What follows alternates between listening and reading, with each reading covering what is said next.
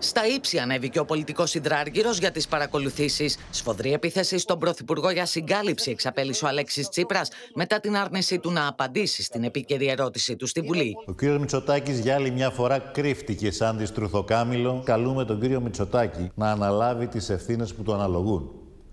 ώστε η θεσμική και πολιτική κρίση που ο ίδιος προκάλεσε να μην μετατραπεί σε μείζωνα πολιτιακή κρίση και κρίση εμπιστοσύνης του δημοκρατικού κεκτημένου στη χώρα μας. Σε υψηλούς τόνους απάντησε ο κυβερνητικός εκπρόσωπος, κατηγορώντας τον πρόεδρο του ΣΥΡΙΖΑ για πολιτική εξαθλίωση και υιοθέτηση ψεμάτων και ανυπόστατων φημών. Αναζητά απεγνωσμένα δικαιολογίες για την επερχόμενη ήττα του, φτάνοντας στο σημείο να θυσιάσει την ομαλότητα και την νομιμότητα για να στήσει γραμμή προσωπικής του άμυνας. Όμως η πολιτική του αδυναμία οφείλεται στην πολιτική του ανεπάρκεια, στην ένδια προτάσεων για τα υπαρκτά και τα μεγάλα που απασχολούν την πατρίδα και στον τραμπισμό αλαγκρέκα με τον οποίο πολιτεύεται. Η απάντηση, εγώ ως κυβέρνηση και ω ΑΕΠ δεν έχω το Predator, δεν είναι αρκετή.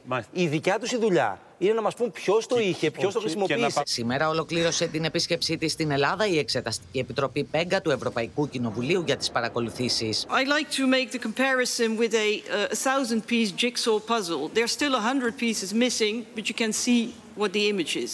And it's not pretty. Από κανένα στοιχείο δεν προέκυψε σύνδεση του παράνομου λογισμικού με την ελληνική κυβέρνηση και με τις νόμιμες επισυνδέσεις. Οι εκτιμήσεις μιας σοβαρής επιτροπής δεν μπορεί να στηρίζονται σε υποθέσεις και αυθαίρετα συμπεράσματα. Αποδείξεις για αυτά τα ζητήματα δεν υπήρξαν. I've said it very clearly in my introduction. Do we have rock solid proof? No, we do not. Why don't we have that? Because we don't get the necessary information from the authorities. Πέραν της καθολικής απαγόρευσης του Predator στην Ελλάδα, για την οποία η κυβέρνηση έχει δεσμευτεί, ο Αλέξης Τσίπρας ζητάει αντικατάσταση του διοικητή της ΕΕΠ από πρόσωπο κοινής αποδοχής και της εισαγγελέα της ΕΕΠ και διακομματικό υπηρεσιακό Υπουργό Προστασίας του Πολίτη με την επίσημη έναρξη της προεκλογικής περίοδου με αρμοδιότητα την ΕΕΠ.